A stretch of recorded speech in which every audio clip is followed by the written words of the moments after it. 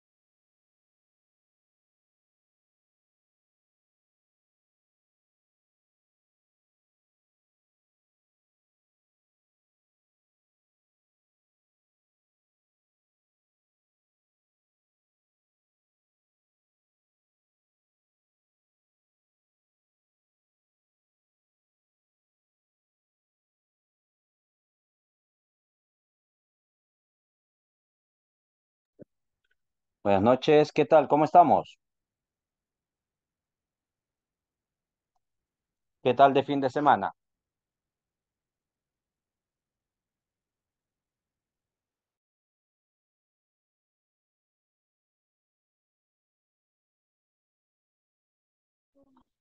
Hola, buenas noches.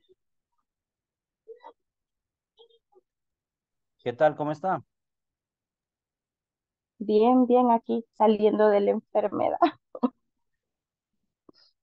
pero ya lista para la clase. Y le creo, así nos ha tocado. Está fea esta gripe.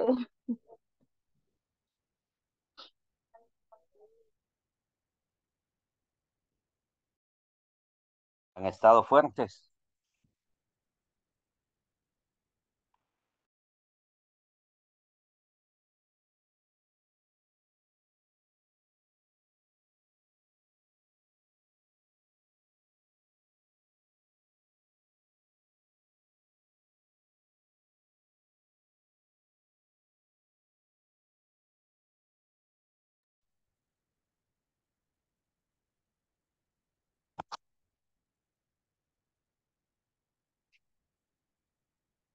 Ok, si gustan, iniciamos ya oficialmente. Buenas noches.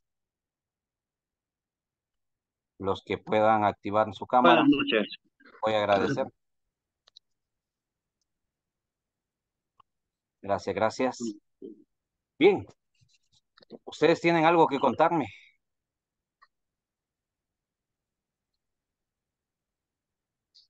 Nada, cansado, muerto. Tres ¿Tienen horas algo seguidas que contarme? ¿Tienen algo que contarme?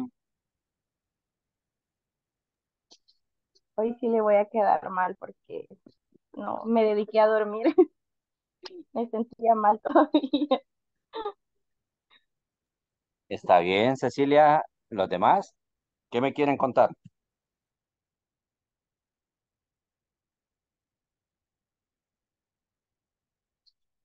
No sé. Yo ni sé cuál era la tarea. La dejaron el viernes. Yo aquí esperando que me cuenten de las películas. Mm, Y la dejamos el viernes. Otras películas. Sí, dejamos ¿Cuáles? otras películas.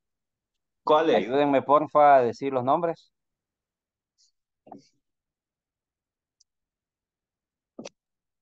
La de Steve Ah, de Jobs, McDonald's. Esa ya la vi. Así pues que cuéntenlo. ya la vi. porque yo no la vi. Bien chiva esa película.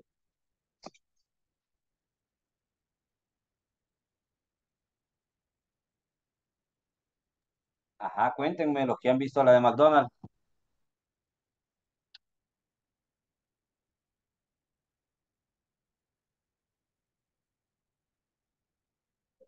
Es de, del señor, bueno, no me acuerdo cómo se llamaba el señor, pero de que los, bueno, McDonald's eran como uno, unos hermanos que tenían, bueno, un sistema bien genial de, de, de cocina, de, de su comida rápida.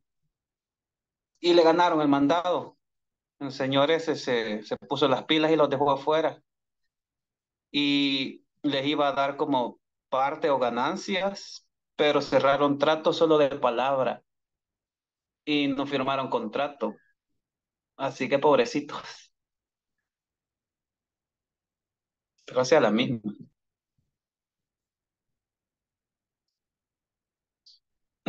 Sí, esa es, Alejandro. Ok, gracias, muy amable. ¿Qué más? ¿Qué me cuentan de, de esa película?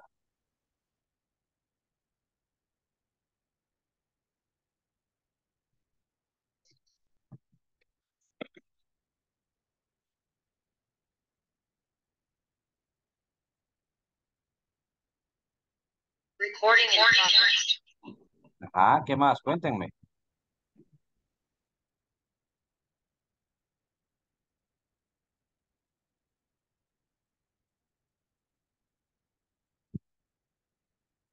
No me asusten.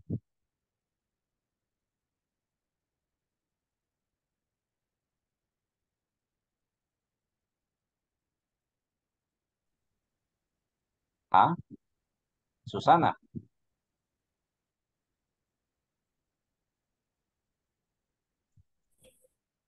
Ángela, Moisés.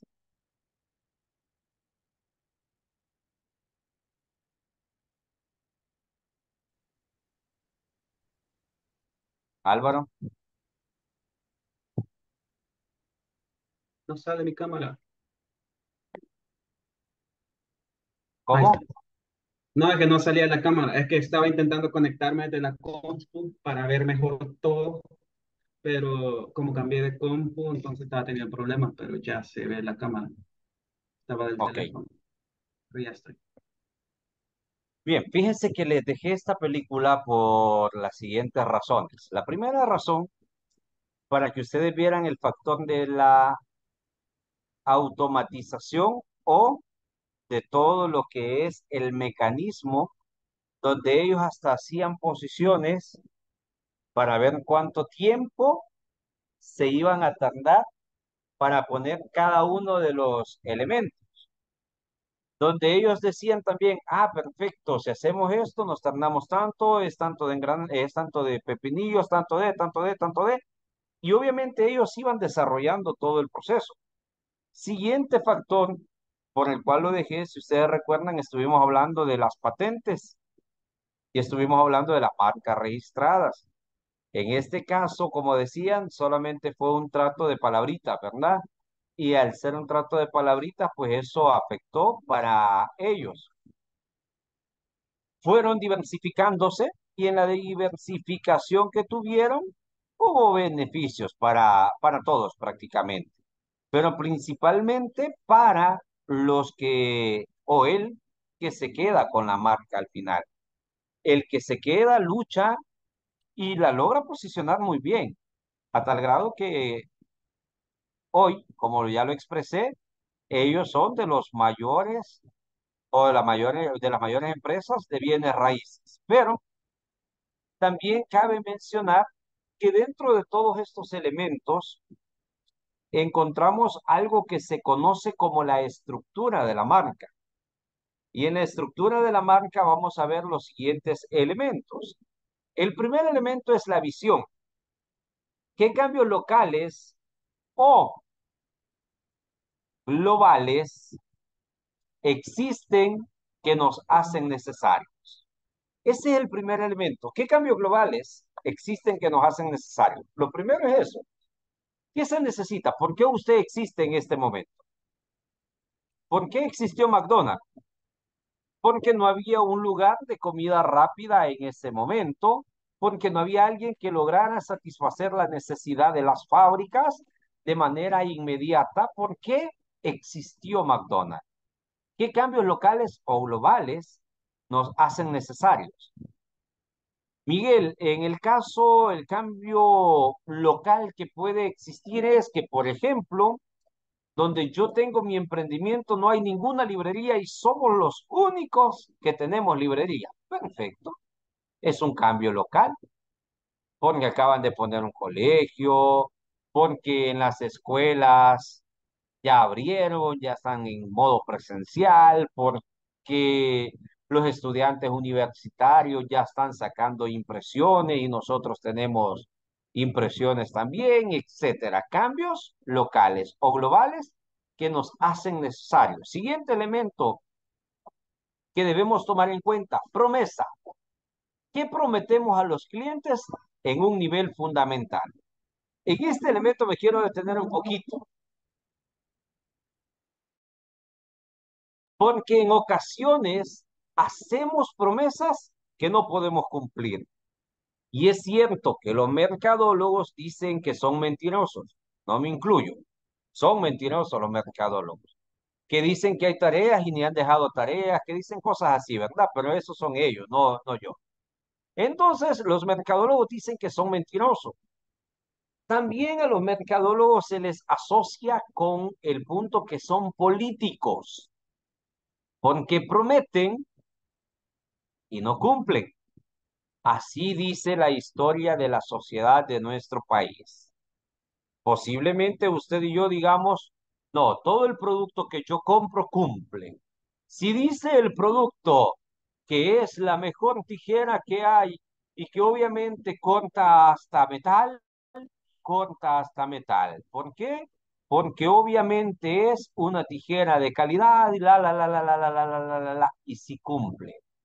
Pero en ocasiones hacemos promesas que no las podemos cumplir. Por favor, nunca prometa algo que su producto en realidad no pueda hacer. Si usted me dice, Miguel, pero es que la publicidad dice que sí lo hace.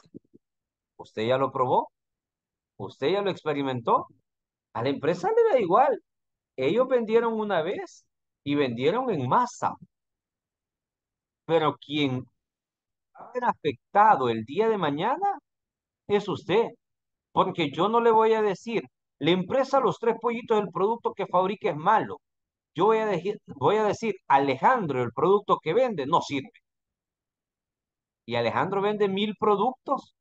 Creo que ya llegaron a ese tema, ¿verdad? De las leyes inmutables del marketing.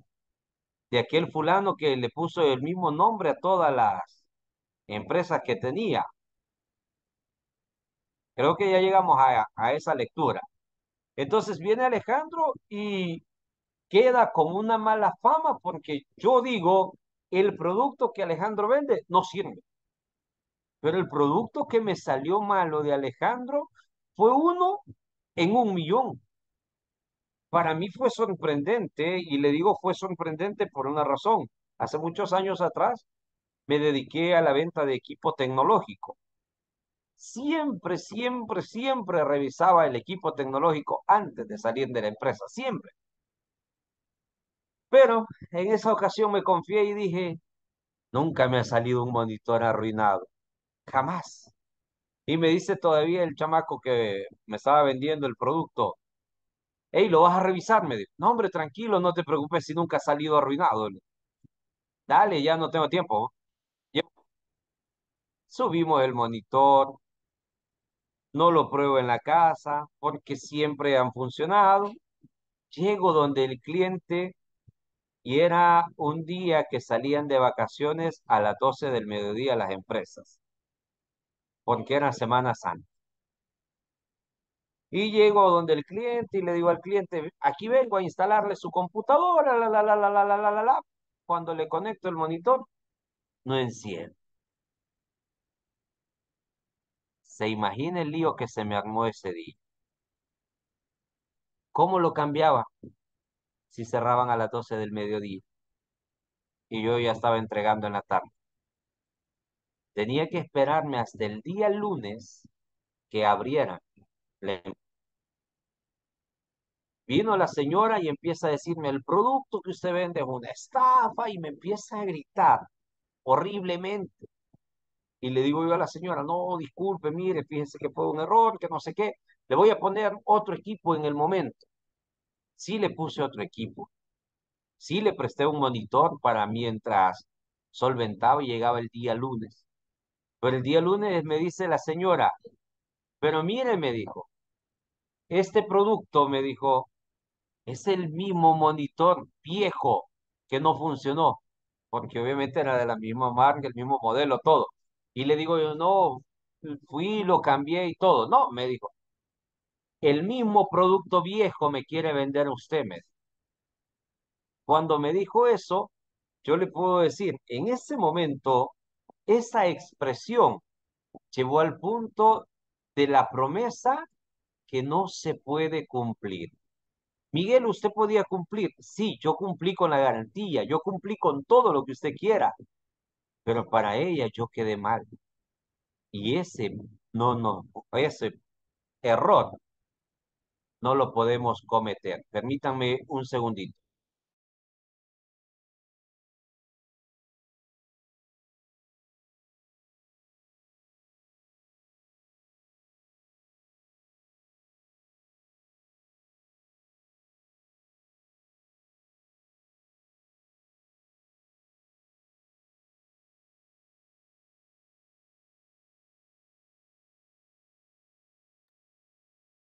Ok, entonces, promesas que no podemos cumplir. Siguiente elemento o siguiente atributo que tiene, o elemento que tiene que ver con la marca, son los atributos. ¿Qué nos hace valiosos para nuestros clientes? ¿Qué es lo que le hace diferente a usted? ¿Le da un mal a uno? ¿Qué se hace? Ya le comento, Ángel, ya le comento en ese punto. ¿Qué nos hace valiosos para nuestros clientes? ¿Qué elemento le va a hacer a usted indispensable para que el cliente quiera quedarse con usted? ¿Y cómo logramos los resultados deseados? Una y otra vez. Para contestar la pregunta de Ángela, cuando el cliente nos queda mal, ¿qué hacemos? En el caso de las ventas online tenemos varias opciones. La primera opción, Ángela, es no volver a venderle a este cliente. Miguel, estoy perdiendo un cliente y es mejor lo viejo conocido que lo nuevo por conocer. Y nos aferramos a veces a este dicho. Pero, como primer punto, Ángela, yo le diría, no le vuelvo a vender. Pero como sé que es una decisión drástica, viene el otro punto. Yo voy a cobrar sin que el cliente sepa que estoy cobrando, porque el cliente siempre tiene la razón o es lo que yo le hago creer al cliente, que él tiene la razón. Me quedó mal con un producto. En el siguiente producto que el cliente está buscando o me quiere comprar, yo le incremento un par de centavitos más. Y le incremento este par de centavitos más y obviamente viene el cliente, si es cliente va a decir, sí voy a comprarle a Ángela nuevamente. Y se queda con nosotros a pesar de que le estamos vendiendo más caro. Pero esos elementos, Ángela, esos dos serían la opción. No venderle o la segunda, venderle con una diferencia. Y esta diferencia que no sea perceptible para él. Que no diga, Ángela me quiere bajar, perdóneme el salvadoreñismo, Ángela quiere aprovecharse de mí, sino que fíjense que el envío ahora me lo están cobrando más caro. ¿Se recuerda que me lo cobraban en dos? Hoy me lo están cobrando en cuatro. Dígame. Vaya, pasa algo. Una clienta me pidió unos productos desde hace dos semanas. y entonces él me dijo el sábado, voy a llegar, que a qué hora cerraba y que toda la cosa. Y yo le digo, a las dos cierro, dos y media le cierro, pero lo puedo hacer, espérale. Me cerré a las tres y media y no apareció, ni me lo vio los mensajes. Entonces, siento yo de que, puya, o sea, hice ese pedido por ella. Y a la hora de las horas, ni los pasteles, no ha llegado. Y da como cosita Y no ha llegado todavía. No. O sea, me da pena en el aspecto de, ya le mandé mensaje una vez, ya le dije, el producto ya está, ya le dije, mire, este, cuando va a pasar por él, este, tal horas estamos abiertos. Sí, es que fíjese que la jefa me anda por aquí para allá. Es que no sé qué, o sea, me sale con mil y una excusas, creo yo. Así que no sé, ya no sé qué hacer. Sí, Ángela, en este sentido yo le diría, depende de qué tan exclusivo, voy Cecilia, qué tan exclusivo sea el producto, Ángela, yo le diría, mire, si usted no me lo adquiere con fecha límite, tal día, yo lo voy a tener que vender. O sea, digo qué tan exclusivo es por una razón, porque si es un producto de consumo masivo, yo lo puedo colocar rápido. Pero si es un producto, como usted está diciendo, lo pidió por ella puntualmente, significa que para que haya otro que le guste, está un poquito más difícil. Cuesta un poquito más venderlo. Sí, quizás apelar al punto de la conciencia y decirle, mire, disculpe, fíjese que yo tengo, y no hacernos, perdóneme la expresión, no hacernos lo miserable, pero sí al punto de conciencia donde yo lo pedí por usted y yo tengo retenido mi dinero. Así, tal cual, directamente lo escribo. Así, tal cual. Yo tengo retenido mi dinero y necesito que usted me apoye. Sí, porque, obviamente no puedo. Lo, chistoso es que yo lo pido y de repente se tardan otra semana. O sea, costó, costó un montón que viniera el producto para acá. Y todavía le fui clara a la muchacha y le dije, mire, fíjate que se ha tardado por por la aduana prácticamente, porque el producto es mexicano, no, no es que a la vuelta lo voy a encontrar y ya estuvo, o sea, no. Y más que lo mando a pedir y todo, y, y me da como, a mí me está dando cositas estar, mire, Sí, fíjese o sea, que, pregúnteselo así directo. Vamos a ver, más adelante me recuerdan, no va dentro del programa, pero me recuerdan que les voy a enseñar cuatro tipos de clientes. Te los voy a enseñar en esta semana. Ahí me lo recuerdan, si no lo hago mañana, va a ser el miércoles. Esto como un plus para ustedes, para que sepan cómo tratarles en ese momento. Oye, ahí me lo recuerdan. bueno, Cecilia y después Mayra. Sí, este, dentro de esto no, no se podría lo que es aplicar, eh, crear políticas de, en el emprendimiento, ¿verdad? Lo que usted decía. Lo puedo tener tantos días y si no, pues lo libero. O también he visto en varias páginas que por eso, bueno, yo suelo comprar muchas cosas en línea y a veces cuando son así bajo pedidos, siempre me piden el 50% o más del pago, si no, no me aceptan el, el pedido. Entonces creo que es bajo estos problemas que se han generado con las ventas en línea, ¿verdad? De que, que a veces los clientes quedan mal y así. Pero no, yo también no lo creo, hice porque creo, o sea, ella me va a dejar un producto, o sea, ella, yo le compro a ella y por eso no lo hice. Entonces dije yo, así como yo le pagué en debida ocasión cuando yo le pedí su- el producto me ofreció, ella también así va a ser porque ella, o sea, lo necesitaba. Entonces por eso no lo hice. Y sí, mi esposo me regañó toda sí, pero porque creo me que dijo que no también, el 50%. como también, ¿verdad? O sea, es un, es un emprendimiento, o sea, todos buscamos pues tener las ganancias de lo que invertimos. Entonces, hay un dicho en mi familia que dice, eh, lo sacaron de una novela, pero lo aplican para todo. Familia es familia, negocios son negocios. Aquí en mi familia lo aplican para todo, por muy pequeño que sea, y hasta cierto punto, pues, eh, se, se siente feo, ¿verdad? Uno que, que le da la confianza a la gente y la gente a veces no responde, pero también hay que ver que la parte que nosotros invertimos, y hay mucha gente que no es cumplidora, pues. Sí. Entonces, como le digo, drástico la primera, ya no venderle y Silvia dice, vamos bien, dice Silvia, de que ya no le vendamos. Y la segunda, pues, hacerles conciencia del dinero que está ahí retenido. Mayra, Cabal, público, tal vez nos gusta algo no de aquí. sí, gracias Cecilia. Mayra, Eh, sí, perdón, es que voy en el teléfono y todavía ok. me abruma la tecnología. No, mentira. Este, no, pues yo creo que también mi compañera eh, tocó un buen punto, el hecho de pedir un anticipo, porque, pues, o sea, en línea, las ventas en línea es, difícil, más que todo cuando es por pedido, vea. O sea, porque sinceramente, a menos que sea un cliente VIP, que incluso se han dado los casos que hasta ellos, hasta ellos dejan pedidos. O sea, eso a mí nada me asegura. Entonces, eh, eso pues como recomendación y también escuché que ella dijo, porque lo necesita.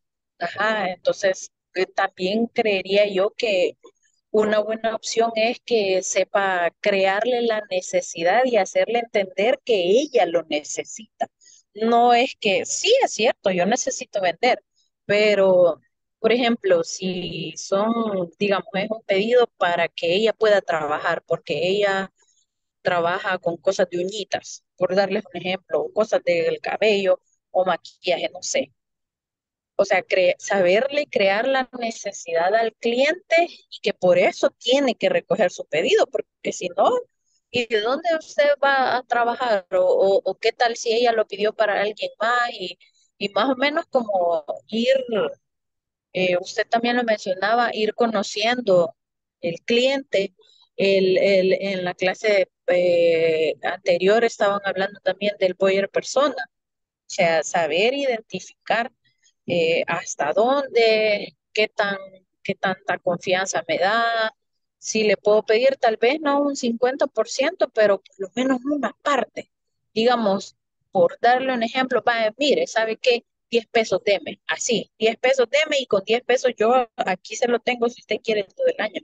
Pero aunque suene increíble, hay gente que por 10, 15 dólares no dice, mejor, ¿cómo voy a perder yo ese pisto? Y, y pues al final terminan pagándolo todo, vea, porque no quieren perder ese dinero. Entonces, esa sería pues una buena opción y, y lo que acaba de decir también mi compañera de, de pedir, pues tratar la manera de pedir anticipos, más que todo que ella que trabaja con, o sea, con pedidos, no es que ella lo tenga y pues ella tiene en stock y, ah, sí, aquí tengo, yo los promociono, sino que lo pide específicamente para alguien. Y eso era. Ah, y también le hice una pregunta ahí en el chat. Y la pregunta que usted me hizo, gracias Mayra por compartirnos, y la pregunta que me hizo es, lo valioso del de lo valioso de la marca no es en sí el valor del producto. Ese ya está dado. Sino que lo valioso de la marca es lo que usted expresa. El servicio al cliente, la atención al cliente, las facilidades de pago, etcétera. Todos los elementos agregados que podamos tener y no esencialmente el valor del, del producto como tal. Ah, ah, pues sí, esa era mi pregunta. Gracias. Bueno, para servirle. Bien, entonces, estos serían los tres atributos o los tres elementos que se le dan a la estructura de la esencia de la marca. Estos tres elementos deben estar presentes siempre que estemos diseñando o estructurando nuestra marca. Por ejemplo, acá ya en un poquito más de detalle, dígame, Marco. Eh, perdón, estos, estamos en la sesión número 4, ¿verdad? En la 3, en la 4. Es que esto yo lo encontré en la sesión 3, en, la, en, la, en todo lo que resolví eh, en la, de la sesión 3. Entonces sí estaba como un poquito, tenía un poco de duda. Creo que esa me salió mala porque no, no tenía la noción. No sé si esto se había visto antes. No, eh, estamos obviamente iniciando la tercera semana. La tercera, ah, sí, entonces por eso, ah, bueno, y yo la resolví. Sí, Por eso es que eh, no, por eso que me salió mala. sí, sí, estamos iniciando tercera semana. Ok, entonces en este sentido, vamos con los ejemplos, decíamos, ¿verdad? De los atributos, el ejemplo, primero, el precio de nuestro producto o servicio. ¿Somos diferentes y mejores que la competencia o somos únicos en el mercado? Si estos elementos están, es más fácil que nosotros establezcamos un posicionamiento en la marca. Si el precio de nuestro producto o servicio es el más accesible que hay en el mercado, podemos irnos por esa vía. Pero para tener ese precio más accesible, yo tendría que ser importador directo o distribuidor. O en el mejor de los casos, fabricante, distribuidor, ¿verdad? Somos diferentes y mejores que la competencia. ¿Por qué? Porque entregamos hasta la puerta de su casa, porque entregamos ahí en cualquier lugar donde usted lo desee, etcétera. Y lo último, somos únicos en el mercado. Por ejemplo, yo pensé que en El Salvador el cemento era un cemento monopolio. Yo pensé eso. Pensé que el cemento era monopolio de una empresa que inicia con H y termina con M. Con la diferencia que hay uno que se llama Portland, el otro se llama Cuscatlán, etcétera. Pero pertenecen a la misma empresa. Y yo dije, no hay más competencia. Refiriéndome al punto de ser únicos. Me sorprendió cuando me dicen, no, también existe el de Oriente, también existe el, también existe, y me empiezan a dar un montón de marcas de otros productos igual al que estoy mencionando. Lo único que allí entendí que en El Salvador, lo que yo pensé que era un monopolio, no era cierto. Y desde ese enfoque que le estoy diciendo, es bien raro decir, nosotros tenemos el monopolio. Había una empresa en El Salvador que eran los distribuidores directos de la marca Sony. Nadie más podía vender la marca Sony acá en El Salvador. Y fue interesante porque le estoy hablando en la época de 2006, 2007. Solo ellos lo vendían. Pero llegamos varios microempresarios a trabajar con ellos a nivel corporativo. Y en el nivel corporativo, yo, Miguel X, trabajaba con esta empresa en el nivel corporativo. Así es que yo, Miguel X, también era, también, perdón, era distribuidor exclusivo de la marca Sony en El Salvador. Y fue donde empezamos a existir varios distribuidores exclusivos de la marca Sony. Esta empresa, que era el distribuidor propiamente, no le convenía decir, no, no son distribuidores exclusivos, porque se le caía todo el nivel de venta que tenía con nosotros como microempresarios. Entonces decide y dijo, no, ni modo, voy a seguir haciendo y que ellos también son distribuidores exclusivos. Y logramos posicionar nuestra marca como distribuidor exclusivo de esta marca a nivel macro. Y ahí es donde se empieza a ver el punto. Podemos ser los únicos, sí, pero siempre va a llegar alguien que nos va a hacer competencia y al hacernos competencia se nos vuelve más difícil para nosotros. La estructura de la marca o la esencia de la marca tiene que ver también con la emoción. Si su marca fuera una persona, ¿qué sentiría hacer negocios con ella? Su marca, su logo, ¿es amigo o es distante? ¿Cómo es su logo? No, es que mi logo debe ser serio, Miguel, porque yo soy serio. Ok, es válido. ¿Para, para qué segmento de mercado está? Para los niños. Entonces, o sea, el logo está bien, pero el segmento está mal enfocado. No, es que mi segmento es de un payasito. ¿Y para qué segmento de mercado es para los adultos? Entonces, excepto que sea el payaso que causa terror, ahí sí, ¿verdad? Está bien. Pero de lo contrario, no estaría adecuado el logo para el segmento. Y esta unión debe existir muy constante, porque las personas deben sentir emoción al hacer negocio con usted, sino que a ah, ni modo le tengo que hablar otra vez a Miguel, porque solo Miguel vende este producto. Y la gente lo piensa y lo repiensa hablar con Miguel. Pero diferente sería, le voy a hablar a Miguel. Si él no lo tiene, me lo va a conseguir. Aunque sea en reventa, me lo va a dar más caro, pero Miguel lo consigue. ¿Qué tan bonito es hacer negocio con Miguel? ¿Qué tanta emoción se siente hacer este trato con Miguel? Y siguiente elemento dentro de esta estructura dice la personalidad. ¿Cómo seríamos? ¿Cómo debemos ser con nuestros clientes? ¿Debemos ser toscos? ¿Debemos ser amables? Miguel, pero es que se aprovechan de la amabilidad. Yo lo sé. Miguel, se aprovechan de mi inocencia. También yo lo sé. Prueba de ello lo que Ángela nos acaba de comentar. O sea, se aprovechan de nuestra inocencia, se aprovechan de nuestra amabilidad, se aprovechan de muchas cosas. Eso yo lo sé que se aprovechan de nosotros. Pero nuestra personalidad debe ser esa. A mí me pareció interesante este elemento.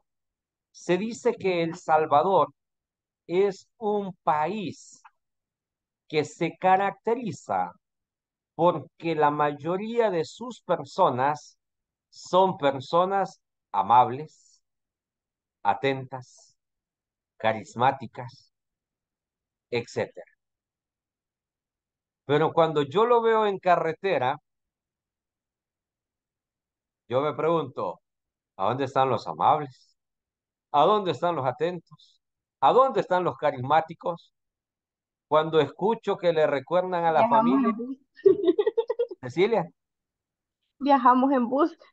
viajamos en bus, peor todavía, porque el del transporte nos lleva como que es ruleta, perdón, como que es eh, la montaña rusa, y nos lleva y escuchamos las personas o nosotros lo hemos dicho, si no llevas animales, o sea, hemos escuchado e- e- e- ese folclore de nuestro país, o sea, ¿a dónde están todos esos elementos del carisma? No, Miguel, es que yo soy atento, soy carismático con los extranjeros, con los salvadoreños no se lo merecen. Yo sé que no nos lo merecemos a veces. Y ya dije, más adelante voy a hablar de este tipo o estos cuatro tipos de clientes que hay. Yo sé que a veces no nos lo merecemos, pero toda esa amabilidad a los extranjeros, pero dice, toda esa amabilidad es para los extranjeros, pero entre nosotros no somos tan así. Ese es el error que tenemos. Gracias por compartirnos. Ese es el error que tenemos, que entre nosotros, Kevin, como él lo dice, no somos amables. Dijo una frase una persona que a mí me dolió escucharla, pero alguna verdad tiene. Dijo, lo triste es que entre, pobres nos hacemos pedazos. Me dolió esa frase porque dije yo, en realidad entre pobres deberíamos apoyarnos. Prueba de ello, no sé si usted se ha fijado y aprovechando el comercial a la cultura oriental de nuestro país. La mayoría vamos y les compramos a los chinos. Les decimos chinos aunque sean coreanos, japoneses, pero todos les decimos a los chinos, ¿verdad? Y vamos ahí donde los orientales, vaya, para no meternos en líos. La mayoría vamos donde los orientales. Pero le hago una pregunta. ¿Cuándo ha visto a un oriental pidiendo limosna en la calle? Nunca. Porque El ellos, oriental, ellos sí son unidos. ¿sí? El oriental llega a un país y llega al país y llega con todo. Los primeros en visitar las tiendas son entre ellos mismos, los orientales. En cambio, entre nosotros, vamos a ver si están buenas las pupusas que vende la niña Juana. También Y los si no, mexicanos, mande. también los mexicanos se apoyan mucho entre ellos. Sí, los Son bien, mexicanos. Ujú. bien fanáticos. Gracias, Silvia. Y cuando vemos las pupusas de la niña Juana, no, hombre, ahí donde la niña Juana ni hay que ir a comprar, guacala, no sirven. Horribles las pupusas. Y quizás a nosotros no nos gustaron, pero le hicimos tanta mala fama a la niña Juana que nadie llegó a comprarle pupusas después, pero porque nosotros hicimos mala fama. Y si es un amigo, ¿y cómo hiciste vos para poner este negocio? ¿A quién le, y a quién dejaste sin? O solo pidiendo descuento y precio especial para mí. Ey, ¿y cuánto me vas a descontar? Ey, si somos amigos, vos. O sea, en vez de llegar y apoyarnos, llegamos y nos hacemos pedazos. Pero eso tiene que ver con la personalidad de cómo a veces nosotros tratamos a los demás y cómo a veces nos comportamos. Y último elemento, el estilo. ¿Cómo nos presentaremos ante el mundo? Yo lo dije un día de estos, por favor, no se presente como el pequeño, no se presente como el que necesita, preséntese como el grande, como el importante, como que usted, sin usted no existe el mercado, o sea, sin mí, no hay distribución de ninguno de los productos que yo vendo. Aunque usted sepa que hay un millón más vendiendo el mismo producto, pero la atención que usted da, nadie más la brinda. Le dejé los dos primeros capítulos de una novela. ¿Se recuerda? Preséntese seguro de sí mismo. Conozca el producto. Conozca. Y la mujer iba describiendo todas las características que tenía el fulano de manera empírica, a tal grado que este fulano cuando llegaba a vender, él no llegaba como, ah, soy el vendedor de los productos que nadie o de los productos de consumo masivo. Él llegaba como, le acabo de traer una fragancia exquisita, única la fragancia. Si usted se aplica esta fragancia, usted va a provocar, usted va a hacer esto, usted va a hacer lo otro. Perdóneme la expresión que voy a utilizar. Y dormía tanto a las mujeres que las mujeres terminaban comprándole. Sorprendente, un hombre vendiendo ropa interior de mujer. Miguel era una novela. yo le puedo decir, conozco gente en mi amado país que Tiene una labia tan bonita que lo enamora. Sí, gracias Ángela por la palabra. O sea, conozco gente en mi país que con esa frase que dijo Ángela, tienen una labia que enamoran, que le dicen cositas, venga, mi amorcito bello, preciosa, mi príncipe, la, la, la, la, la, la, la, la, la, y con tantas palabras que dijeron, que al final nos terminan vendiendo. O sea, y ese punto de que nos terminan vendiendo, esa personalidad, esa emoción que nos transmiten, ese estilo, cómo se presentan, hace la diferencia. Pero en ocasiones usted y yo nos dejamos llevar. Gracias por ese ejemplo, Silvia. En ocasiones, por ejemplo, se suben en el transporte y creo que yo no lo he contado con ustedes y nos dicen, tenga muy buenos días, señorita caballeros. Este día he venido a ofrecerles este lapicero. Este lapicero tiene la virtud de que es un lapicero de color azul, pero adicional le sirve para que usted pueda manipular su teléfono. Con este lapicero usted podrá hacer una y mil maravillas, pero se lo traigo por un dólar. Pero si a usted le parece caro este lapicero, no se preocupe, le voy a dar por el precio del mismo lapicero, le estoy entregando tres lapiceros. Si a usted le parece caro todavía, le voy a entregar un cuarto lapicero. Si a usted le parece caro, hoy, por ser oferta de este día, le estoy regalando una tijera. ¿Por qué? Porque yo no estoy pagando agua, luz, yo no estoy pagando empleado, yo no pago nada de eso ni local y por lo tanto se lo traigo a la palma de su mano. Permítame, ya, ya, ya, ya llego por allá. Permítame, solamente atiendo aquí adelante. Y los que estamos adelante, que viajamos en bus, empezamos a comprarle y nadie de atrás había levantado la mano que quería comprar. Nadie de atrás. Pero peligroso y se acababan y fuimos los primeros en comprar. La gente al ver que los de adelante compramos, atrás siguen comprando. Dice Silvia, ya le compré. ¿Sí? Y hacen una venta loca que el lapicero que nos vendían, quizás Pero en el caso de local, que si pagamos locales y, y lo tenemos que dar un poquito más caro para sacar el, el gasto de local, tenemos que enamorarle. tanto. ¿Cómo le enamoramos? Le doy el servicio a domicilio. Jamás damos nada gratis. Jamás, Ángela. Jamás damos gratis. Pero si yo le digo a usted que el envío es gratis, usted me lo compra, Ángela. Aunque no sea gratis el envío. Usted me lo compra, aunque yo ya le subí cinco dólares y me van a cobrar dos y todavía del envío me quedan tres de ganancia.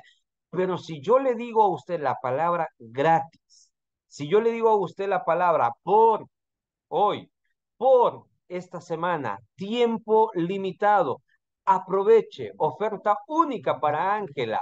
Usted me lo termina comprando porque le estoy enamorando. ¿Sí? Y al estarle enamorando, Ángela, obviamente terminamos comprando el producto. Al finalizar este, esta semana les voy a enseñar unos códigos rec- reptilianos. Les estoy adelantando algo por ahí para que usted vea cómo, y vamos a ver en ese momento, cómo enamoramos a la gente, para que estas personas nos terminen comprando el producto que vendamos. El salvadoreño se caracteriza por ser el véndelo todo, por ser el sábelo todo, dijo aquel poeta, ¿verdad? Y porque vendemos piedras si es necesario y la gente nos las termina comprando. ¿Para qué le sirvieron las piedras? Para nada, pero la terminamos comprando. Preguntas, comentarios, quejas, reclamos hasta este momento. Porque tienen un bonito paisaje, por eso tal vez las compramos. Buen punto, Ángela. Tiene que ver bastante también con la atención. Yo recuerdo que trabajé un tiempo en la gasolinera. En la tienda de conveniencia, este, a mi jefa, que no se le plantaba vender. Me acuerdo que llegó un tiempo con, con colas. Dijo ella, "Ay, aquí la gente pasa y a veces hay mucho calor, dijo, y aquí no vendemos nada de eso. Voy a traer. Y ella llevaba las colas y nos hacía que las empacáramos, que quedaran súper bonitas, estéticas, o sea, súper bonitas. Eh, valían, el costo era como de un dólar y él le ponía hasta el triple. Y sin mentirle, las colas se iban súper rápido porque llevó 12 primero. Creo que en un día se vendieron. Y empezó a llevar más y más. Después, que fue lo otro que llevó? Ay, no recuerdo, pero la cosa es que los jefes de ella le hacían chistes y le decían, usted hasta las piedras vende, le dijeron. Claro, le dijo, es que usted tiene que saber cómo venderle. Si usted pone un producto y no se ve bonito, eso no se va a venderle. Para que usted pueda vender su producto, a usted le tiene que gustar cómo se ve su producto. Si a usted no le gusta, a los clientes tampoco le. Y a nosotros nos daba risa, porque es cierto, ella llevaba muchas, muchas cosas, llevaba carritos de unos de colección, no sé ni de dónde los sacaba, pero me acuerdo que yo vi una vez la factura, valían como 3 dólares y los dábamos a 15 dólares. Y yo me quedé así como, y la gente se peleaba por esos carros y llegaban y decían, ay, yo quería el modelo que estaba ayer, mañana se lo traigo. Y si ella se rebuscaba y yo decía, tiene razón, la atención y decir, o sea, mañana se lo traigo y decía, lo llevaba. Entonces, eso también tiene bastante que ver. Vende. Sí, gracias, Cecilia. O sea, son todos los elementos que usted tiene que ver en su marca. Ahora, voy a ir intensificando un poquito con las tareas adicionales que yo le voy a dejar. Hago la aclaración. Mis tareas no son de carácter obligatorio. Las que yo dejo acá, las que están en la plataforma, sí, pero las que yo dejo acá no son de carácter obligatorio. Son de carácter aprendizaje. Para usted, para mí. Porque obviamente eso nos va a ayudar.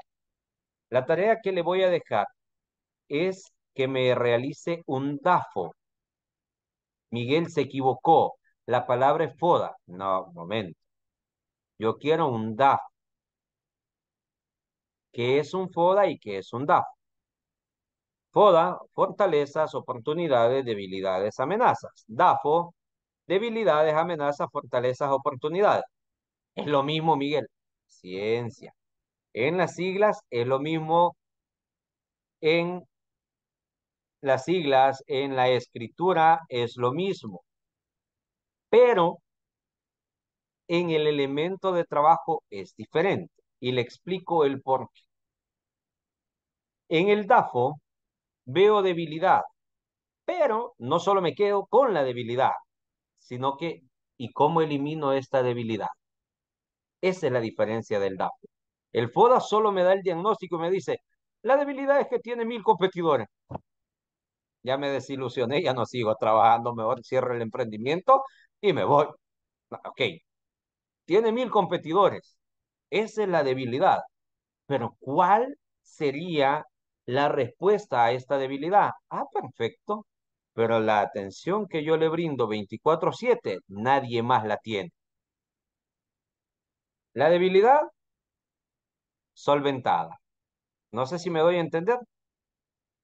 Las amenazas, las solventamos. Las oportunidades, ¿cómo las desarrollamos más? Y las fortalezas, ¿cómo las desarrollamos más? ¿Cuál es la tarea? Realizar un DAFO de su emprendimiento. Realizar un DAFO de su emprendimiento. Esa sería la tarea que les dejo. ¿Qué es la O? Oportunidad.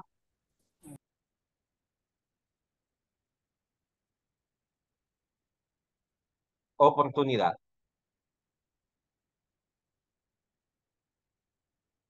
Bien, esa sería la tarea que les dejo para el día de mañana. Quedamos hasta acá.